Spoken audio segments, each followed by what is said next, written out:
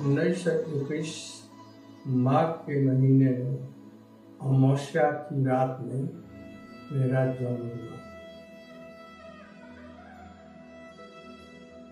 पिताजी और माताजी श्री संप्रदाय के विधिवत दीक्षित वैष्णव राशि के अनुसार मेरा नाम श्रीमान नारायण तिवाड़ी रखा गया।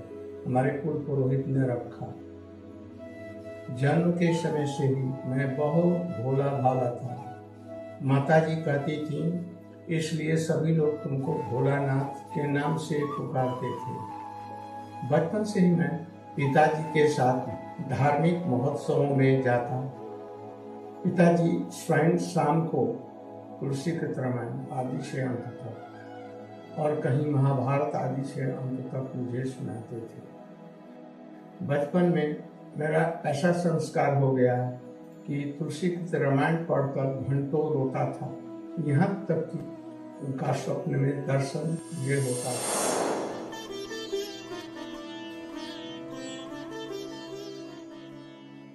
स्कूल में पढ़ते समय मैं अपने क्लास में सर्वदा प्रथम या द्वितीय होता था। विशेष करके हाई स्कूल में एक मील, पाँच मील इत्यादि की दौड़ में लॉन्ग जंप में हाई जंप साइकिलिंग रेस नौका चालन आदि में मैं प्रथम आता था। संस्कृत संगीत में भी भाग लेता था और संस्कृत में डिबेट में भी भाग लेता था। भागवत वक्ता मेरे कुल गुरु का मेरे प्रति अत्यंत स्नेह, मेरी सेवाओं से बहुत ही स्नेह हो गया। इसका मेरे जीवन में बहुत ही प्रभाव पड़ा। मैं भक्ति भाव में सारा बोर अब रहने लगा।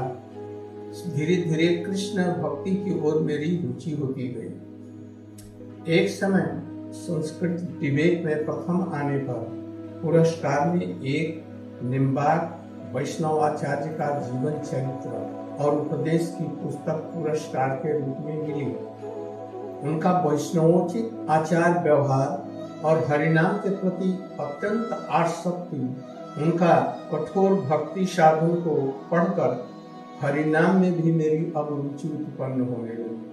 हाई स्कूल में पढ़ते समय हिस्ट्री में मेरी बहुत रुचि थी। इतिहास के पुस्तक में श्री चैतन्य महाप्रभु के विषय में संक्षिप्त विवरण पढ़कर और उनका घुंघरारू और लंबे लंबे बालों को देखकर और कीर्तन का आवेश देखकर मेरे जीवन पर भी बड़ा गहरा प्रभाव पड़ा। खेल कूद और क्रीड़ा में कुशल होने के कारण हाई स्कूल छोड़ने के बाद ही बिना प्रयास के ही पुलिस डिपार्टमेंट में मुझे रख लिया गया। नौकरी करने के तीन वर्ष बाद में श्री गौड़िया वेदांत समिति नवदीप की तरफ़ से प्रपूज्य चरण श्री श्री नौत्मानंद ब्रह्मचारी जी, दस बारह जनों की एक टोली पार्टी मेरे सर्विस करने के स्थान पर आई। साहेबगंज नाम के स्थान पर police officer, deputy superintendent Bengali थे और बड़े धार्मिक चित्त वृत्ति के थे। उनके घर में सात दिनों तक प्रहलाद चरित्र का उपाख्यान उन्होंने सुनाया। यद्यपि मैं उस समय पूरा बंगला नहीं जानता था तो भी मैं वहाँ पर बैठा रहता। और मेरे श्रद्धा के कारण पूज्य पाद से नरोत्तमानंद ब्रह्मचारी जी का मेरे ऊपर में बहुत ही स्नेह हो गया। और चार पाँच दिन तक प्रवचन के बाद में खाना पीना छोड़ करके रात भर बैठ करके मुझे हरी कथा सुना लगे अंग्रेज़ी में, मैं संसार से व्यक्ति उपस्थित हो गई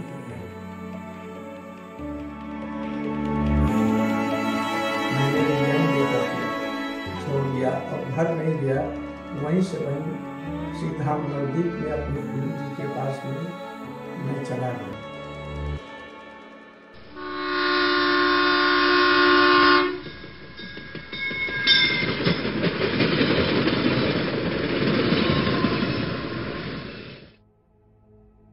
जिस समय मैं रात में बारह बजे नवदीप धाम रेलवे स्टेशन पर आया तो मैंने सोचा जैसे वहाँ का तो पता मैं जानता नहीं मैं कैसे आश्रम में जाऊँ और रात में भी किसी से कैसे पूछूँ। किंतु देखा, ये गुरु जी ने जान करके मैंने कैसे जान लिया? और पूज्य बात बामन महाराज को एक लाइट के साथ में मुझे ढूंढ करके लाने के लिए भेज दिया। मठ में आ गया। नवदीप धाम परिक्रमा होने वाली थी।